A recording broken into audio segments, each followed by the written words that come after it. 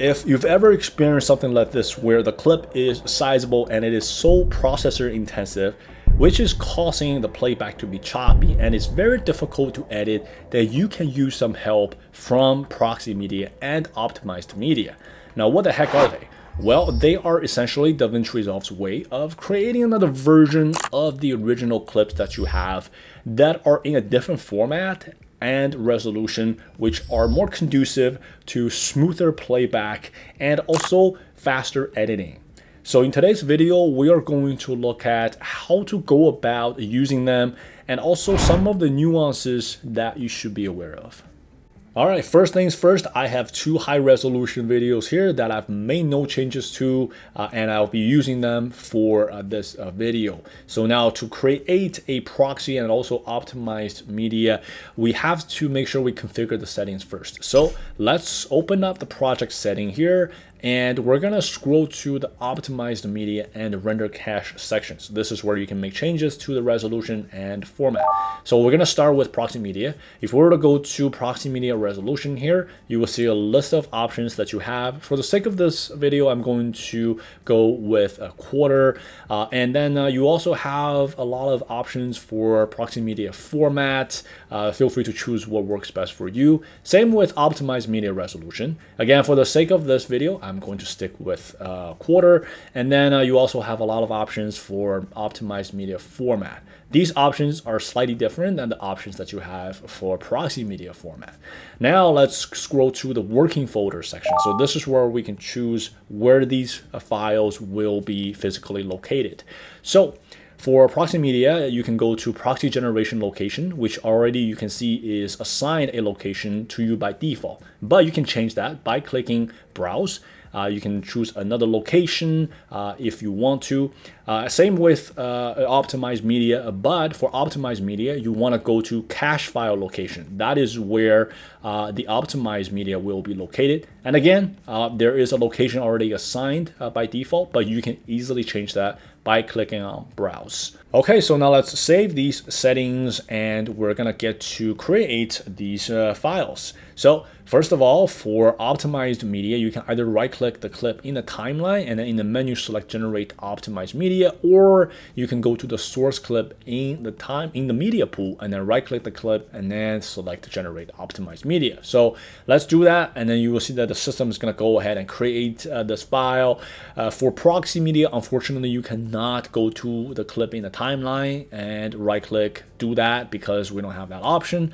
So what you have to do is to go to the source clip in the media pool, right click, and then in the menu select generate proxy media. So let's do that. And again, you will see that the system will go ahead and create this file. And once it's done, you will see that when we try to play these clips back, the system is going to automatically use uh, optimized media and proxy media because uh, it, it detects that they are present and you will see that it's playing back at a much lower resolution, just like how we configured the settings uh, earlier. Well, you might be asking yourself at this point, how does the system automatically go pick up these files? So for optimized media, if you go to the playback menu here, you will see that use optimized media if available is checked. If this is unchecked, however, that's when the system is going to ignore optimized media, even if they are available.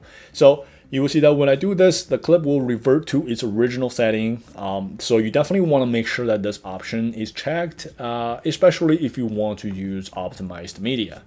Now, in terms of proxy media, uh, first of all, you will notice a small purple icon embedded in the source clip and also the clip in the timeline. That's the system telling you that the proxy media is not available and it's being used. Or you can go to the preview screen uh, and if you go to the top right corner there, you will see that a small PXY uh, menu. So you will see that in this uh, menu, prefer proxies is enabled. Uh, if you click disable all proxies, that's basically telling the system to ignore proxies uh, again, even if you have them available. Another way to disable proxy media is to actually go to the source clip and then right click uh, the source clip and then in the menu select uh, unlink uh, proxy uh, media. Uh, that's another way kind of to tell the system to ignore proxy even if it's available. All right, so now I want to get into some of the nitty gritties and nuances that you guys should be aware of. So to get started, we're gonna open up the folder where you can find, uh, you know, these uh, files. So we'll start with cache clip, which is uh, where you can find optimized media. Now, when we click into uh, optimized media folder and then, and then some of the subfolders, you will eventually get to uh, optimized media file here, which you can see are just a bunch of DVCC internal cache files that only DaVinci Resolve can't understand. So you can't really use them for any other, for any other, for, for anything else. Uh, now this is a stark contrast compared to proxy. So if we were to go back to let's say proxy media folder and then uh, uh, uh, click through some of the subfolders to get to the eventual proxy media file, you will see that it is an actual physical media file that you can open up, that you can play on your local machine. Uh, and not only that, this uh, is a file, because it's an actual physical file, you can share with someone else. You can move it to another, another machine, uh, use it for another project very easily. Uh, so this is perhaps, I would say, one of the biggest differences between the two. Now, this also is a reason that when you right click uh, the source clip, you see the options for unlink and also relink proxy media because it is an actual physical copy on your local machine. Another thing I want to draw your attention to at this point is the file size. So you will see that it's 85.7 megabyte for the proxy uh, media here. If we look at the file size of the original clip though, it's only around 23.9 megabyte. So it is a bit of an increase there. Uh, now, if we were to uh, look at the optimized media, you will see that it's uh, actually much bigger. It's 115.3 megabyte.